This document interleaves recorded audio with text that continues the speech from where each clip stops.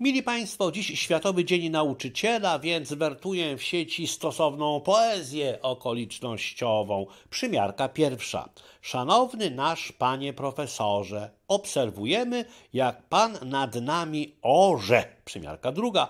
Praca wychowawcy to praca niełatwa, bo często leniwa i krnąbrna jest dziatwa. Przymiarka trzecia. Nie jeden zły zwalczyłeś nauk w naszych usposobieniach. Idziemy śladem twoich nauk w szlachetnych twych dążeniach pisze młodzież. Cóż, jakby nie przymierzać, przed pedagogami jeszcze sporo pracy, no przynajmniej na odcinku poezji. Szeleścimy poznańskimi gazetami, przed nami dziennik poznański z roku 1903.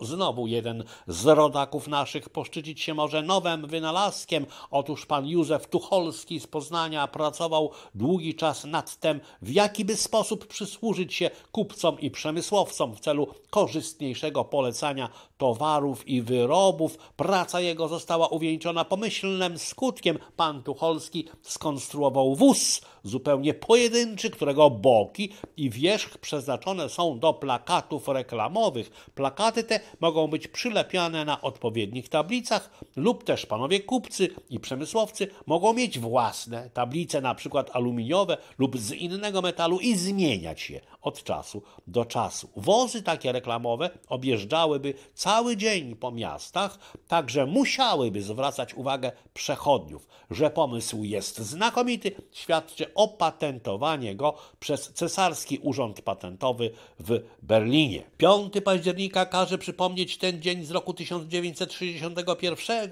kiedy to na światowe ekrany wchodził film pod tytułem Śniadanie u Tiffany'ego z Audrey Hepburn, która to aktorka spopularyzowała w tym filmie tak zwaną małą czarną, czyli krótką, prostą sukienkę, a zwłaszcza długą, szklaną lufkę z papierosem, co spowodowało, że z tą lufką w ustach sama stała się jedną z najbardziej rozpoznawalnych ikon XX wieku. Poza tym Audrey, czyli filmowa Holly, uwielbiała o poranku zjawiać się taksówką pod nowojorskim sklepem znanej firmy jubilerskiej Tiffany's, gdzie na wystawie pyszniły się złote precjoza. Tym, którzy się dziwili, tłumaczyła. Od razu mnie to uspokaja. Ta cisza, ten dumny wygląd, tam nic złego nie mogłoby mi się przytrafić. Cóż, gdybym tylko znalazła tak bezpieczne miejsce w życiu, jak sklep Tiffany'ego, no cóż, dokupiłabym trochę mebli, kupiłabym kota